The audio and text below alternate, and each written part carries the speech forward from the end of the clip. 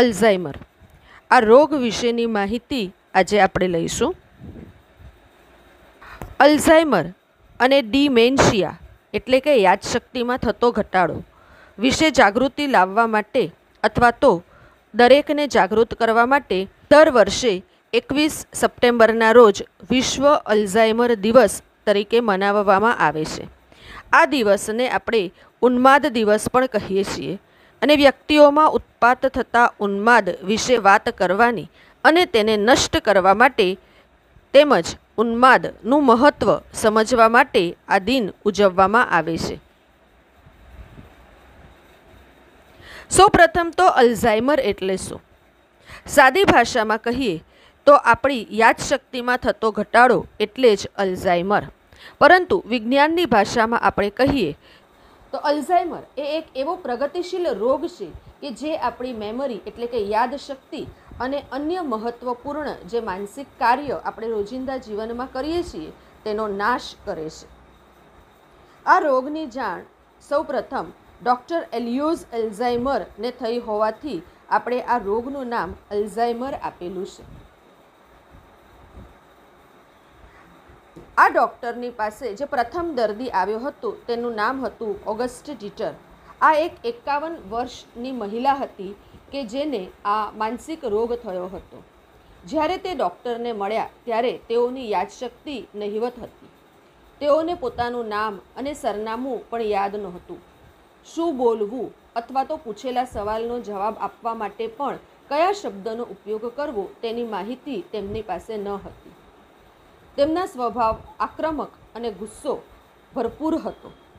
અને તેથી આ રોગ વિશે વધુ માહિતી મેળવવાનો ડૉક્ટરે પ્રયત્ન કર્યો. વિવિધ પ્રકારના સંશોધનો કર્યા બાદ એ સમજમાં આવ્યું કે અલ્ઝાઇમર અથવા તો યાદશક્તિમાં થતો ઘટાડાનું મહત્ત્વનું જે કારણ છે એ આપણા મજ્જાપેશીના જે કોષો છે તેની રચનામાં ફેરફાર થાય છે.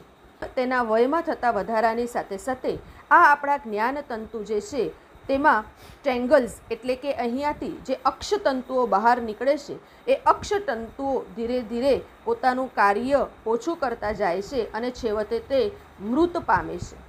તો મૃત મજ્જાપેશીઓને જે સમૂહ તૈયાર થાય છે, તેને કારણે વ્યક્તિની ધીરે ધીરે યાદશક્તિ ઓછી થતી જાય છે. રોજિંદા કાર્યમાં પણ તેને અડચણ ઊભી થાય છે. તંદુરસ્ત વ્યક્તિના મજ્જાકોષો તેના શરીરમાં કંઈક આવા જણાય છે. આ આખા મજ્જાપેશીઓનું જાડું આપણા પૂર્ણ શરીરમાં ફેલાયેલું હોય છે. પરંતુ વ્યક્તિની વયમાં વધારો થવાને કારણે અહીંયા જે તેના કોષો ધીરે ધીરે મૃત થતા જાય છે અને તે તેની રચનામાં કેવો ફેરફાર થાય તે અહીં માર્ગદર્શન રૂપે દર્શાવવામાં આવેલું છે. ખાસ કરીને ઉંમરની સિક્સટી ફાઇવ વર્ષ થાય ત્યારે ધીરે ધીરે અમૃત મૃત મજ્જાકોષોનો સમૂહ જે છે તે પોતાના લક્ષણો દર્શાવવાની શરૂઆત કરે છે. આજ સુધી જે સૌથી નાની ઉંમરનો દર્દી કે જેને આ અલ્ઝાઇમરનો રોગ થયો હોય તે અઠ્યાવીસ વર્ષનો છે તેવું શોધમાં જણાવ્યું છે. આ રોગના લક્ષણો અને તેના તબક્કા જો આપણે સમજીએ તો શરૂઆતના જે લક્ષણો છે તે સામાન્યપણે આપણને કોઈને જણાય આપતા નથી અને તેથી જ આ રોગની શક્ય તેટલી માહિતી ભેગી કરવી જરૂરી છે. શરૂઆતના આપણા લક્ષણો જોઈએ તો રોજિંદા દિવસમાં આપણે બેથી ત્રણ દિવસ પહેલાં શું ખાધું હતું અથવા તો આપણે કયું કાર્ય કર્યું હતું તેની માહિતી જે છે તે આપણે ધીરે ધીરે ભૂલીએ છીએ. એટલે કે કોઈની કીધેલી કે સાંભળેલી વાતો આપણે ભૂલી જઈએ છીએ. જેમ આ રોગમાં વધારો થતો જાય તેમ આપણા પોતાના સગા સંબંધીઓના નામ પણ આપણને જલ્દીથી યાદ આવતા નથી. રોજિંદા જીવનમાં આપણે જે ગાણિતિક પ્રક્રિયાઓ કરીએ સરવાળા બાદબાકીની, જેવી રીતે કે ઉદાહરણ તરીકે શાકભાજી લેવા જઈએ તો ટોટલ કેટલા રૂપિયા થયા? તો એ વખતે જે ગણતરી કરીએ તે ગણતરીમાં ભૂલ થવાની શક્યતાઓ વધી જાય છે. અને તેથી વ્યક્તિ કોઈને પોતાને આ જે ભૂલ થઈ છે તે શરમ આવે તો કોઈને કહેતું પણ નથી. તેને કારણે પણ ધીરે ધીરે આ રોગ વધતો જાય છે. અથવા તો આ તો એક સાદી એવી ભૂલ છે એમ સમ, આ રોગની ગંભીરતા તરફ આપણું જે ધ્યાન જવું જોઈએ તે ન જતાં આપણે દુર્લક્ષ કેળવીએ છીએ. અહીં આપણને આજે ત્રણ તબક્કા આપેલા છે. તો આ શરૂઆતના તબક્કાઓમાં રોજિંદા જીવનમાં તો આપણે જે ભૂલ કરીએ તેવી હોય છે. પરંતુ ધીરે ધીરે ધીરે આ રોગમાં જેમ વધારો થતો જાય તેમ તેના લક્ષણો સ્પષ્ટપણે જણાય આવે છે. ઉદાહરણ તરીકે, ઘરમાં અથવા તો આપણા કાર્યક્ષેત્રમાં કોઈ વસ્તુ આપણે ક્યાં મૂકી છે તે આપણને જલ્દી યાદ નથી આવતી. એટલે કે આપણે ભૂલી જઈએ છીએ. રોજે રોજ આપણે જે કાંઈ પણ કાર્ય કરતા હોઈએ, તેમાં વસ્તુઓને શોધવાનું જે સમયગાળો છે તે વધતો જાય છે. તો તેની ઉપરથી પણ આપણને આ રોગ છે તેની માહિતી મળે છે. આપણે જ્યારે વાતો કરતા હોઈએ ત્યારે સાચા અથવા તો યોગ્ય શબ્દો જલ્દી ન આવે યાદ અને જે તે શબ્દનો ઉપયોગ કરીને આપણે આપણું વાક્ય પૂર્ણ કરીએ છીએ. શર્ટ અથવા તો કપડાના બટન પણ આપણે ઉપર નીચે બંધ કરીએ છીએ. તે આ હવે દર્શાવે છે કે માનસિક બીમારીની આ જે ફેલાવો છે, યાદ કરવાનો, એ ધીરે ધીરે શારીરિક લક્ષણ તરફ જઈ રહ્યું છે. યોગ્ય નિર્ણય લેવામાં વિલંબ કરવો અથવા તો વ્યક્તિ લઈ નથી શકતી. કોઈપણ પ્રકારનું કાર્ય જો તેને વ્યક્તિને કરવા માટે આપવામાં કે કહેવામાં આવે, તો એ સૌપ્રથમ ના કહેશે અને આત્મવિશ્વાસનો ધીરે ધીરે અભાવ થતો જાય તેમ પણ જણાય છે. જેમ વ્યક્તિ રોગના ત્રીજા તબક્કામાં અથવા તો ગંભીર અવસ્થામાં પહોંચે, તેમ તેના માનસિક, ભાવનાત્મક અને શારીરિક જે અભિભાવ છે, તેમાં અક્ષમ બને છે.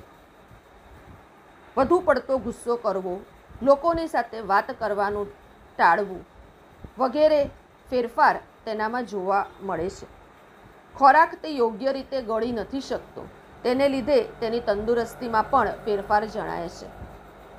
રોજિંદા કાર્ય જેવા કે કપડાં અયોગ્ય રીતે પહેરે છે. ક્યારેક મળમૂત્રનું વિસર્જન પણ કરતી વખતે તેનું ધ્યાન રહેતું નથી, તે તરફ દુર્લક્ષ જાય છે. અહીં આપણે આજે તેના માનસિક અથવા તો મજ્જાપેશીમાં ધીરે ધીરે ધીરે તેના મગજ ઉપર જે મૃત કોષોનો સમૂહ થાય છે, તેની અસર આપણે અહીં જોઈ શકીએ છીએ કે આ સામાન્ય તંદુરસ્ત માનવીનું જે મગજ છે, તેનું કદ અને જેને અલ્ઝાઇમરનો રોગ વધારે પડતો એટલે કે ગંભીર અવસ્થામાં પહોંચી ગયો હોય, તેનું આપણે મગજ જો જોઈએ, તો તેના મૃત્યુ પછી આપણને આવું જણાય છે. એવું માનવામાં આવે છે કે આ રોગ જે છે, તે આનુવંશિક છે. આપણા ગુણસૂત્ર નંબર એકવીસની અંદર જો ખામી હોય, તો તેને કારણે પણ આ રોગ થાય છે. ગુણસૂત્ર એકવીસને કારણે ઉત્પન્ન થતું પ્રોટીનને કારણે તકતીઓ અને ટેંગલ્સ કે જે આ મજ્જાપેશીમાં ઉત્પન્ન થાય છે, તેની અંદર કંઈક ઉત્પરિવર્તન થવાને કારણે આ રોગ થાય છે. આ રોગ આપણને ન થાય અથવા તો વ્યક્તિને પોતાને જ એવું લાગે કે રોજિંદા જીવનમાં તે દરેક કાર્યમાં થોડોક ધીમો પડે છે, તો કસરત કરવી જોઈએ. કારણ કે કસરત કરવી, પોષક આહાર લેવો, પૂરતી ઊંઘ લેવી આ કારને કારણે પણ આપણે આ રોગમાં ઘટાડો કરી શકીએ છીએ અથવા તો આપણા મજ્જાપેશીઓને આપણે તંદુરસ્ત રાખી શકીએ છીએ. ઉખાણા ઉકેલવા, શબ્દ કોયડા રમવા, ગાણિતિક ક્રિયાઓ કરવી વગેરેને કારણે પણ આપણી મજ્જાપેશીઓની તંદુરસ્તીમાં સુધારો થાય છે. લોકોની સાથે મળવું, વાતો કરવી તેને કારણે પણ આ રોગથી આપણે બચી શકીએ છીએ. મેડિટેશન કરવું, કારણ કે જે વ્યક્તિ ખાસ કરીને સ્ટ્રેસ અથવા તો દબાણયુક્ત જીવન જીવતી હોય, તેમાં આ અલ્ઝાઇમર થવાની શક્યતા વધુ પ્રમાણમાં જોવા મળે છે તેવું સંશોધન દ્વારા શોધાયું છે. અને તેથી જ આપણે આ અહીં જે ઉપાય દર્શાવેલા છે તેવા કાર્યો કરવા જોઈએ. અલ્ઝાઇમર રોગ નિદાન થયા બાદ તેને ઓછો કરવા માટે મનોવૈજ્ઞાનિકો અમુક દવાઓ આપે છે. આ દવાઓ દ્વારા ઉત્પન્ન થતા જે રસાયણો છે, તેને કારણે વ્યક્તિનો જે આક્રમક સ્વભાવ છે, તેની ઉપર થોડું નિયંત્રણ લાવી શકાય છે. પરંતુ જે મજ્જાપેશીનો નાશ થયો છે, તેને ફરીથી આપણે સુધારો કરી શકતા નથી અને તેથી જ આ રોગ ખૂબ ગંભીર છે. જો રોગની શરૂઆતમાં જ આની માહિતી આપણને મળે અને યોગ્ય ઉપચાર કે કસરત કરીએ, તો આ રોગની ઉપર આપણે નિયંત્રણ લાવી શકીએ છીએ. અને તેથી જ અલ્ઝાઇમર ડે તરીકે આજના દિવસને આપણે શક્ય તેટલા વધુ લોકોને આ રોગની માહિતી આપીને, લોકોને જાગૃત કરીને આપણે આ રોગનું નિયંત્રણ કરી શકીએ છીએ અથવા તો સમાજમાં તેને ફેલાતો અટકાવી શકીએ છીએ. આભાર.